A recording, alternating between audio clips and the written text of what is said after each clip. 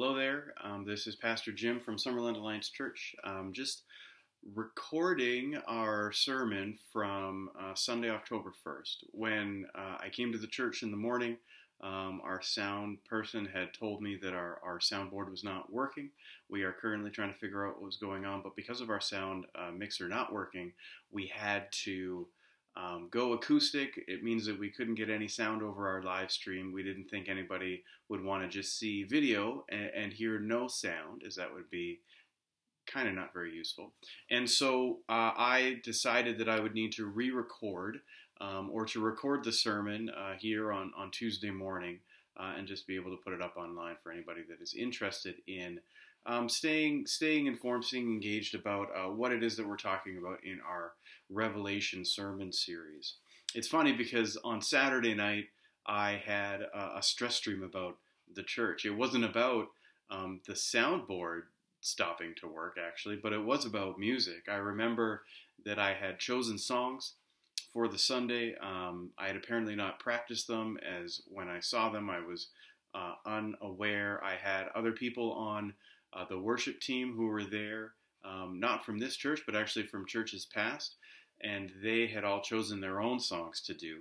Um, when the service started, I was busy talking, I think, and so the other people in the team uh, started started the music without me, and then I realized about partway through that oh, obviously I should get up there.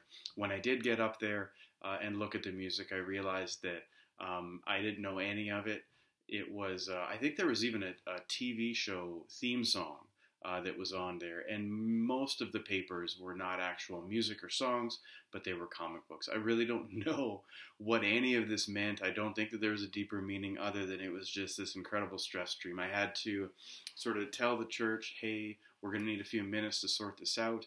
Uh, and and talked amongst ourselves on the worship team and try to figure out what songs we would do, what keys they had to be in, what notes we would have to play because we didn't have any of the music. And then mercifully, that's when the dream ended.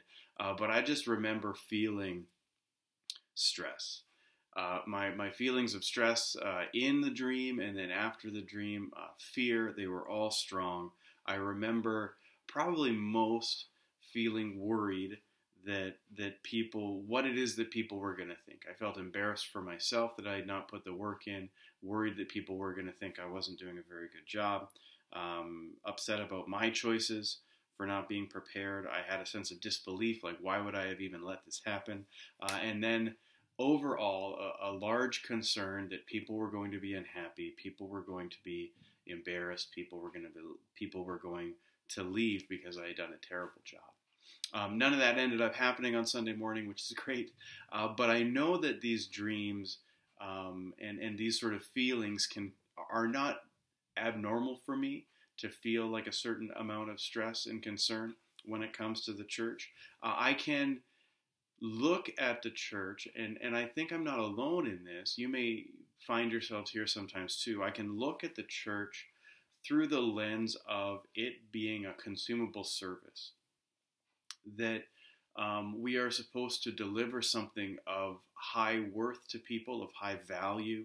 The music should be uh, excellent. The, the message should be relevant and, and meaningful and, and new, maybe. That our programs should be um, top quality and, and, and better than you know church A or B in town, or, or or some people may think, oh, these things better be better than church A and B from my past, or they should be similar to this, and and uh, and that we have these the expectations that that these things are supposed to happen within church, and that if I don't do it, then you know giving will go down, people will leave, um, and and uh, and so I then get concerned and worried if I view church in this way, which at times is easy for me to fall into the trap of doing.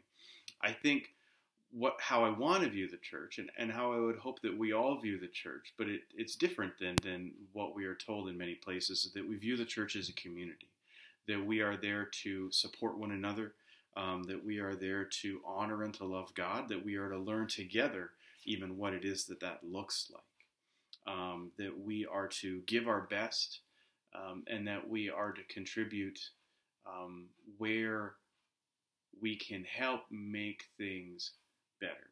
That we are to be a part of the process uh, of, of um, of improving our community for the benefit of our of our spiritual development, I think, and our and our emotional health and and uh, and mental stability, and that we give to the church really as an extension of our of our of our giving to God, that the generosity that He has given to us is, is what we give back to Him, and that if I see the church in this way, um, I don't feel so worried about what uh, a Sunday morning looks like or how it comes off. Is that we then have opportunity to develop our community no, matter what. Um, and that always leaves me in a healthier space because how we see things how we understand things will influence our thoughts and our actions. How we see things influences our thoughts and our actions. Like if you see life as a as a competition, um, it, it will affect how you act in life. If you see all the other drivers on the road as people that you have to beat to get to the destination that you're getting to, you will be less gracious about you know people needing to get in front of you or um, less patient with other drivers on the road. If we see um, our kids' grades as a uh, a competition in the sense that they need to be better than other kids, uh, so that their life will be everything that it can be or should be, then then we will act a certain way. If we see work, if we see our homes, if we see our salaries as being a, competition, it will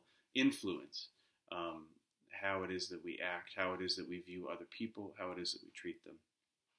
If we see life through a lens of what it is that we don't have, we can begin to um, become unhappy with the things that we have because somebody will always have more than us, whether it's housing or um, or or cars or, or money or even you know trips or, or what we seem to be happiness. But not everybody lets lets us into what is truly going on within within their lives.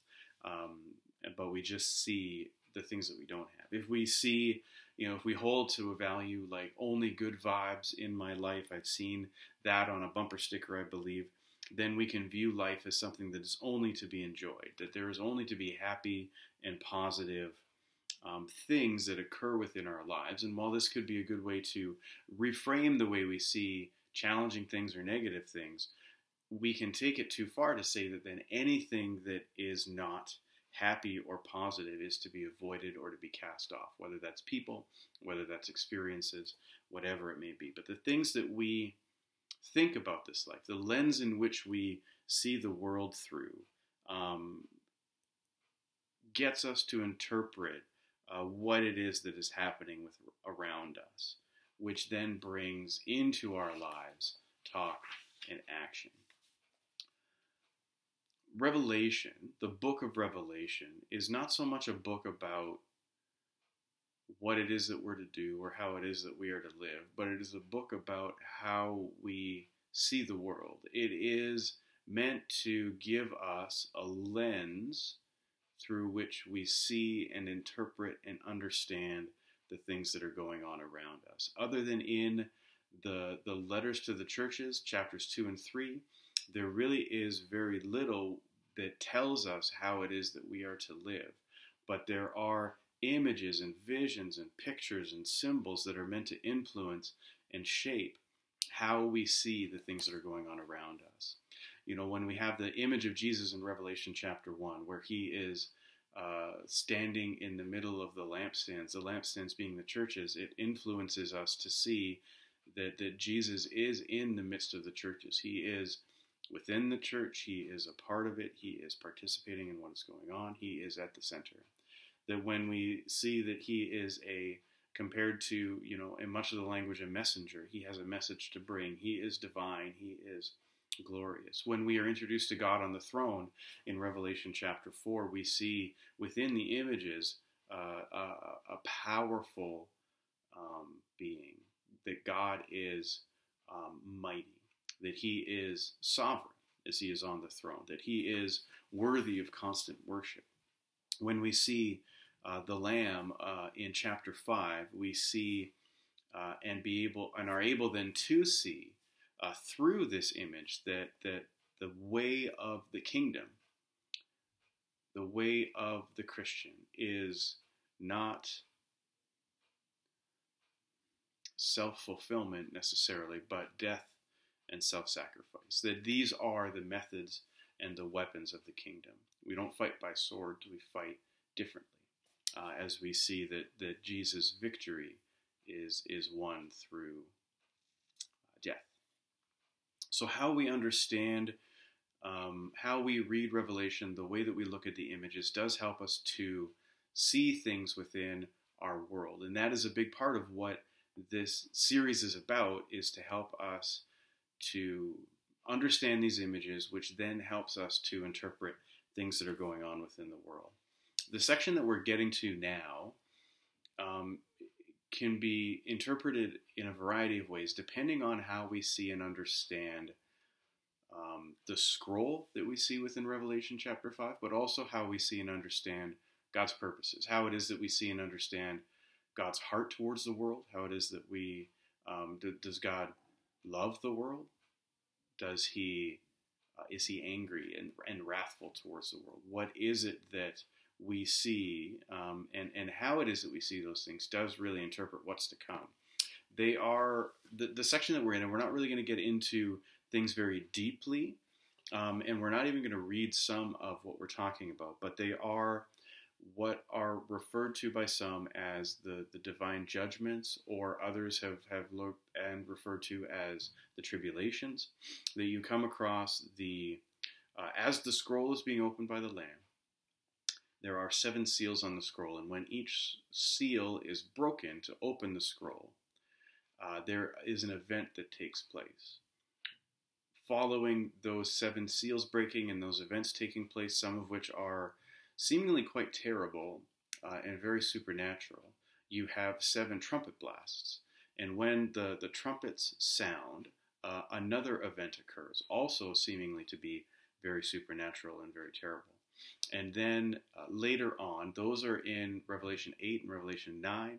And then in Revelation 16, we come across the seven bowls, um, which are poured out onto the earth that also bring um, plagues or, or, or, more terrible uh, and supernatural things. And so as we as we look at these and we try to understand them, um, they become a lens, or how we understand them uh, and the things leading up to them can become a lens to which um, we interpret the events that are to come. And so I'm going to read for you Revelation chapter 6, uh, verses 1 to 14. Um, and we're not going to get into Revelation 8 and 9, and we're not going to get into Revelation 16, but I would invite you to take a look at those um, as you're able. Um, and if you're interested, just to see what it is that we're talking about, because we will refer uh, to some of the things that are there. And so Revelation chapter 6, starting in verse 1, says, uh, As I watched, the Lamb broke the first of the seven seals on the scroll. Then I heard one of the four living beings say with a voice like thunder, Come. I looked up and saw a white horse standing there. Its rider carried a bow, and a crown was placed on his head. He rode out to win many battles and gain the victory. When the Lamb broke the second seal, I heard the second living being say, Come. Then another horse appeared, a red one. Its rider was given a mighty sword and the authority to take peace from the earth, and there was war and slaughter everywhere. When the Lamb broke the third seal, I heard the li- third living being say, Come. I looked up and saw a black horse, and its rider was holding a pair of scales in his hand. And I heard a voice from among the four living beings say, A loaf of wheat bread or three loaves of barley will cost a day's pay, and don't waste the olive oil and wine. When the Lamb broke the fourth seal, I heard the fourth living being say, Come. I looked up and saw a horse whose color was pale green. Its rider was named Death, and his companion was the grave. These two were given authority over one fourth of the earth to kill with the sword, and famine, and disease, and wild animals. When the Lamb broke the fifth seal, I saw under the altar the souls of all who had been martyred for the word of God and for being faithful in their testimony. They shouted to the Lord and said, O sovereign Lord, holy and true, how long before you judge the people who belong to this world and avenge our blood for what they have done to us? Then a white robe was given to each of them, and they were told to rest a little longer until the full number of their brothers and sisters, their fellow servants of Jesus who were to be martyred, had joined them. I watched as the Lamb broke the sixth seal, and there was a great earthquake. The sun became as dark as black cloth, and the moon became as red as blood. Then the stars of the sky fell to the earth like green figs falling from a tree shaken by a strong wind. The sky was rolled up like a scroll, and all of the mountains and islands were moved from their places. And then it goes on later to mention the seventh seal uh, and what happens after the seventh seal, which really does lead into the um, the, the trumpet blasts that come uh, from there. So as the seal are broken on the scroll, events are described. Similar things continue with the seven trumpet blasts in Revelation 8 and 9, and the seven bowls poured out on the world uh, in Revelation 16. The events um, can be seen as uh, war, famine, earthquakes, there's darkening of the sun, uh, stars falling from the sky, terrifying creatures unleashed, hailstorms, plagues, death, uh, and more. And one way to interpret these uh, these events, these things that are happening as the seals are opened, as the trumpets blast, and as the bowls are poured out, is that these are all describing uh, events that will come in the end of this age that then usher in or lead to uh, the return of Christ. And that it is a set period of time, um, that it is a uh, I think it's usually stated as seven years, even though, as I've looked, I don't know where you where that's found. It doesn't seem to be found in Revelation. I think it's by piecing different like days that are mentioned together from other sources, Daniel, maybe Ezekiel, um, and that in those seven years uh, leading up to the return of Jesus, God's wrath is poured out on the earth in the ways that are described. That these are literal events that will take place uh, leading up to the end during a seven year period. There is uh, then punishment. These are viewed as vengeance, uh, and these are viewed as destruction. It is payback for what people have done um, or what people have failed to do. Uh, that it is a time of terror uh, that is that is happening before Jesus' return, and that along with this view, there is the view that true Christians will escape this time of terror, that they will be uh, raptured, is the word that is used, that they will be taken into heaven uh, all at once in an instant. Yet some will be uh, left behind, some who thought that their faith was true and genuine, yet all of a sudden realize, oh no, um, it's not. And, and here I am to endure these terrible things. And these sections then become, can become frightening for for people reading it. Whether it's uh, for young kids as they as they see this and they think, oh no, I don't want to um, be a part of this, and so I need to make sure that my faith is genuine and that I'm doing the right things, and, and, and right behavior is good.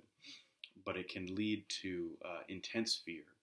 Um, and for those of us who are older, we might then come to a place where we don't, where we would worry that our faith isn't genuine, or maybe that we, uh, as some have, have, referred to, or some see who, who hold to this, that we've taken the mark of the beast, which um, which is mentioned later in Revelation, that that some people would refer to as a as a computer chip, or or some have now lately said is is a vaccine, and that God will then, because we took that, He will punish us and force us to face uh, the seven years of terror, if not more, uh, and that this is referred to as the Great Tribulation.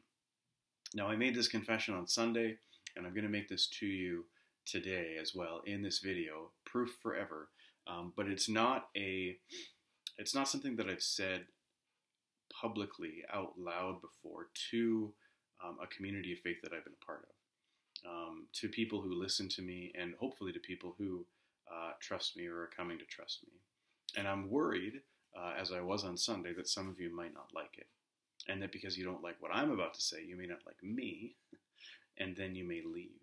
Um, but I know, I don't think that my role as a teacher, my role as a, as a shepherd or under shepherd or pastor, I don't know that I am supposed to tell you what it is, only what it is you're used to hearing, or what it is that you want to hear. Uh, it seems like the Bible says that that is what false teachers do and I don't want to be a false teacher. I believe that I am supposed to teach what I understand to be true from Scripture as best as I can. And so, my confession is I don't believe in the rapture and I don't believe in a seven year period of literal terror that people will go through uh, that leads up to the return of Jesus. I don't believe in these things. Um, I believe that there is a weak scriptural case for all of it, and that perhaps we have believed it and now look back to find places where it seems to say it. When you come into Revelation, what I have found people say to be the proof of it is when um, the, the voice says to John in Revelation 4, Come up here, uh, and that John then appears in the throne room, that that is symbolic or, or, or whatever of the rapture of faithful Christians taken. I believe there's a time in Revelation where there are two witnesses who are, are taken after they have been killed uh, or close to killed, that they are then taken away, and that some would view that as the rapture. There's uh, talk of a, seal being put on uh, 144,000 people, I believe, in chapter 7 of Revelation, and that they would view this as a protection. They're being protected from the events that are to come.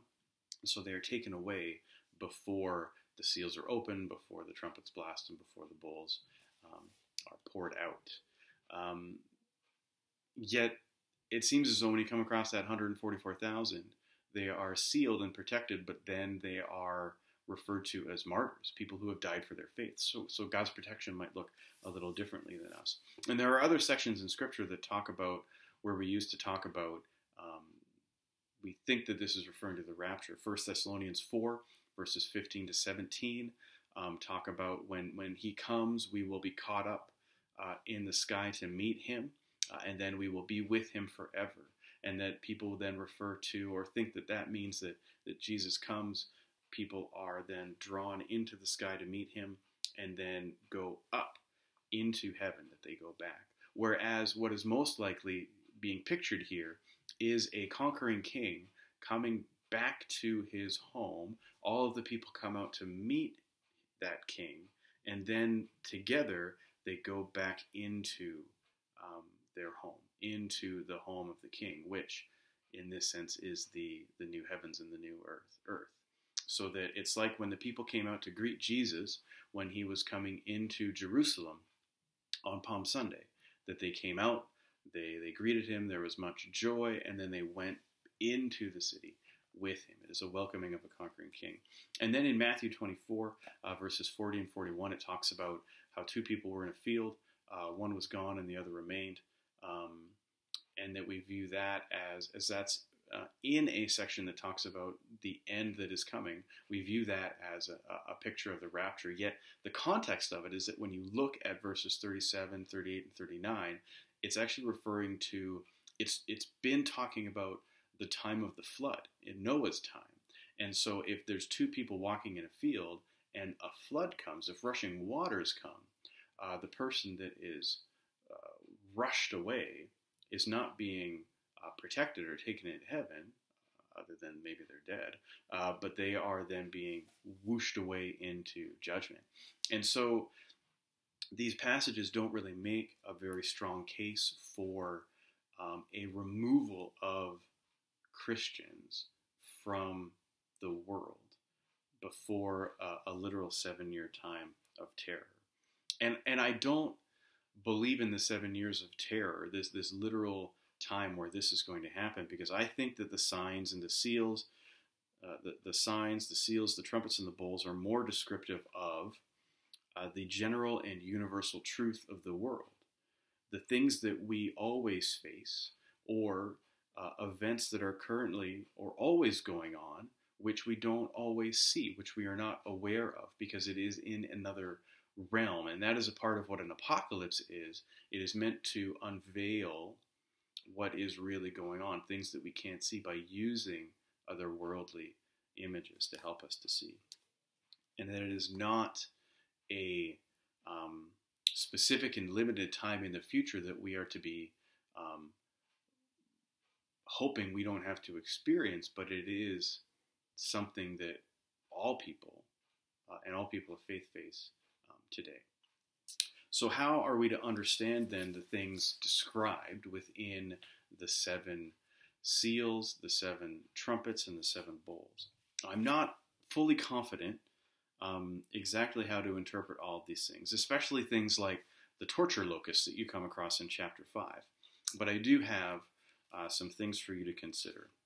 The first thing that I want you to consider is that we live in a broken world, and that I think some of what is described sounds like the things that we face every day because we live in uh, an imperfect world, a world where sin and death uh, reign, where they are unleashed, where they are doing what it is that they were designed to do, yet they are not meant to be a part of, of God's creation. That we live in a broken and fallen world. There are wars, there are earthquakes, there is fire, there is inflation, where, oh, don't waste the olive oil and the wine. There is disease and there is famine. That, that some of these things that are being mentioned really are our universal reality, that they aren't a, a clue or an indicator that the end is near.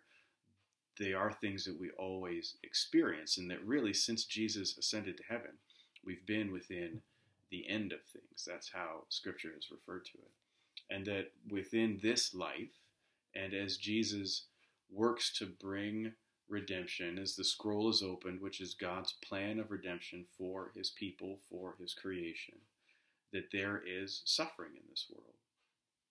That Jesus says, In this world you will have trouble, but take heart, I have overcome the world. That death still exists, but the sting of death has been lost. But that these are things that we always experience.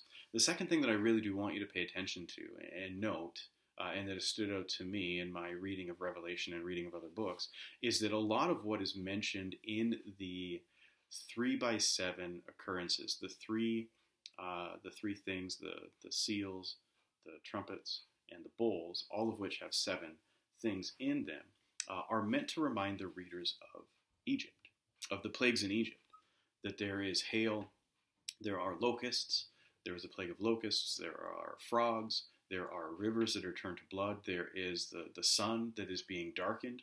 Um, and that, that we are then to think of some of these things within that context. And, and within that context, there are a couple of things to consider is that God was working uh, and doing these things to free his people from oppression, to convince uh, Pharaoh to let his people go, and that these plagues were a judgment against evil and harm and that as we see these things in Revelation 6, 8 and 9, and then 16, that we are also to similarly think of them as judgment against the evil of the world, judgment against evil and harm. Because for God's kingdom to fully come, evil must be eradicated. There is no room for it uh, within the kingdom, as we will get to when we get to Revelation chapters 20 uh, and 21. And that some of these things that are coming are actually coming because of the prayers of the people. In Revelation chapter 8, um, where the seventh seal is broken on the scroll, it says that another angel with a gold incense burner came and stood at the altar, and a great amount of incense was given to him to mix with the prayers of God's people as an offering on the gold altar before the throne.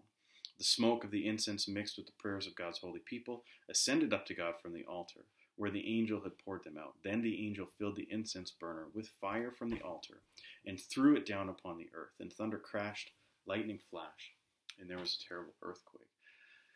That, that some of the things that are coming as well are, are, are responses to the prayers of God's people. That when the people in Exodus cried out for God because they were oppressed, they were no longer favored as people within Egypt, they were taken advantage of, they were put to um, oppressive and crushing work, that they groaned and they cried, and that those rose to God and He acted.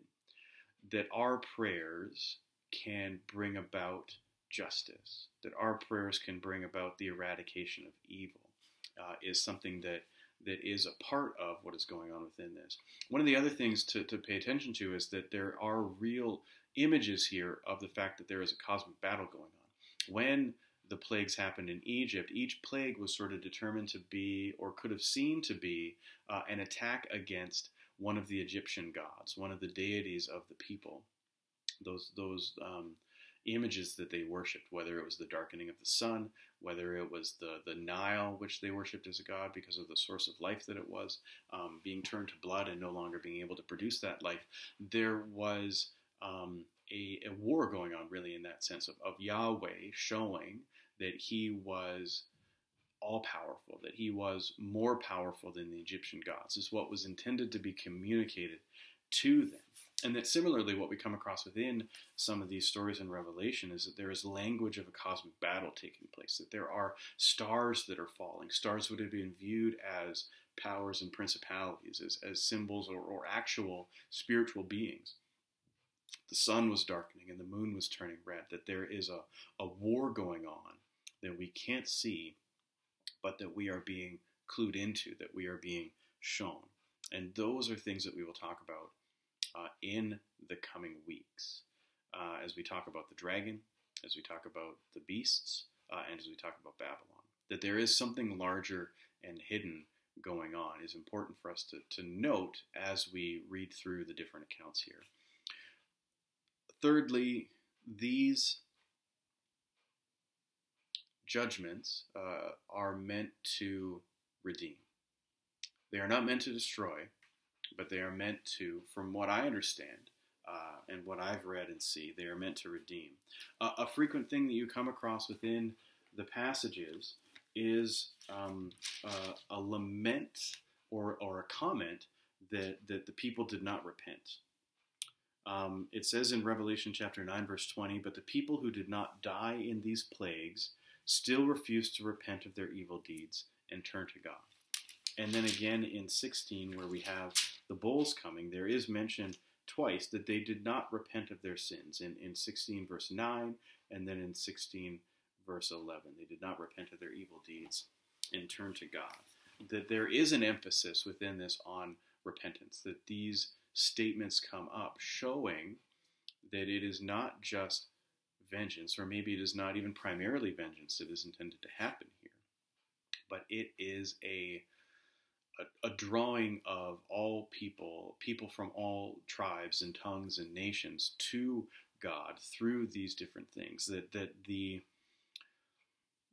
troubling things that are going on here are actually meant to draw us to God. That they are meant to change us. That they are meant to um, show us that we should trust in Him, turn away from our idols and our addictions, depend on and bow before God and that at the heart of the terrible things, there is a chance to encounter God.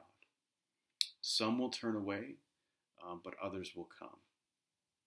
The good news of Jesus, I believe it says, is, is life to some, but is the aroma of destruction to others.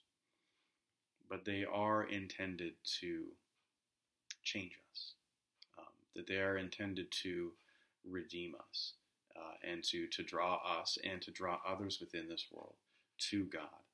And the fact that there are seven of these things and there are three rounds of them, um, as what I have read, shows that, that what that these things will perfectly accomplish what they are meant to do. That that it is not a seven year period at the end of everything that will do this, but it is these varieties of um, of suffering and experiences that we have through our lives. Sometimes things that are brought about by us, sometimes things that are brought about by things outside of us, um, the wars that are going on, um, that we that are meant to, or there is a chance in there that we are to be drawn to God. And then lastly, I want to notice, I want you to notice that in Revelation chapter 4, we are introduced to the one on the throne. God is sitting on the throne and he does not move. God does not leave the throne. God is sitting on the throne. And this does not mean that he is inactive. This does not mean that he is not a part of things, but that he is sovereign over it all.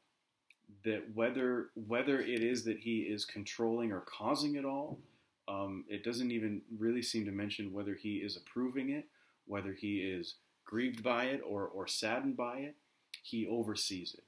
He sits in authority and power over all that is taking place. Not as one who is disengaged, but one who is involved, that he is sending, that he is speaking, but he is still sitting on the throne. And that what our discussion group this past Thursday night noticed and was drawn to in, in part of our discussion was that there is a rainbow around him. It says that there's an emerald shining around him like a rainbow.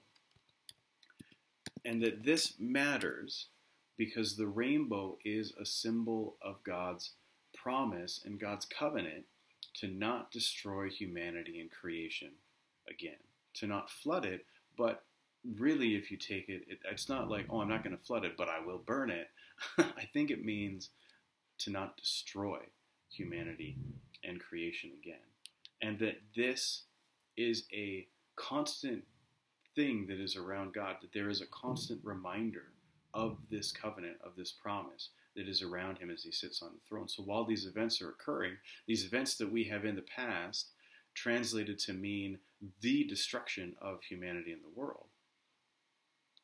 While these things are occurring, there is a constant reminder of God's promise to not destroy humanity in the world. And that that is an, that image is an essential interpretation of these judgments, or as, as other authors have said, um, these disciplines. So what? So what does all this matter? Why why why does this matter to you? And I know that that these messages have been very focused in on let's look at what revelation means and how it is that we can read it. And i've been a little lighter on on showing you why this matters to your life. And so i'm going to give a little attempt here to, to to give you some things to think about. I hope that that the visions the images that the symbols that are there can be inspiring to you can be something that you use as a lens to now see through and, and that we would continue to do this to see through and understand what is going on around us. But why I think that this matters is for a number of reasons. When when you suffer, when you face difficult things, um, when you have setbacks, when there is grief, when there is loss, you are not experiencing something outside of normal. You are not. There's not necessarily something wrong with you. It is not that God is punishing you. I don't think but that we all suffer, we face setbacks. There, there may be a need within it, uh, and, and, maybe you've come here by your own choice, and maybe there is uh, more going on, other forces that we are unable to see. Um, but there, there may be a chance within what it is that you're facing um, to turn to God again, like there are always chances for us to turn from something and to turn to God. There's always a need for us to repent and to come into His presence. And some of what we may be suffering may be the results of God's fight against evil, sin, and death within this world. The need to eradicate evil and harm, whether it be within systems, whether it be within countries, whether it be within individuals. That there is a need for um, purging, that there are things that need to be removed from us for our betterment, um, and that removal can be painful. I think it's important to remember that within all of this, when we are suffering, that God does hear our prayers and He responds to it all, that He does care about suffering, that He does care about oppression, that He does care about those who are taking advantage of others, and that when we cry out, those cries do rise to Him and result in His actions and all that we go through can draw us closer to God. It won't necessarily. That is to a degree dependent on us. But the one with the power and authority over all we face and experience is present. He has promised, and he constantly remembers his promise to not destroy and to not destroy you, but to redeem, to renew, to restore, and to resurrect. This is true for you. This is true for um, the people that you don't like. This is true for us all. We have a chance within the things that we face to draw closer to God. And that all pain is temporary, yet freedom from these things uh, will be eternal. Let me pray for you. God, thank you for uh, this time, and thank you for this uh, means in which we can communicate. Um, the sermon that was that took place on Sunday. I pray that you would bless uh, your people, those who have heard, uh, those who have seen, and I pray that your Holy Spirit would continue to lead and to guide. That you would meet us in all the things that we face.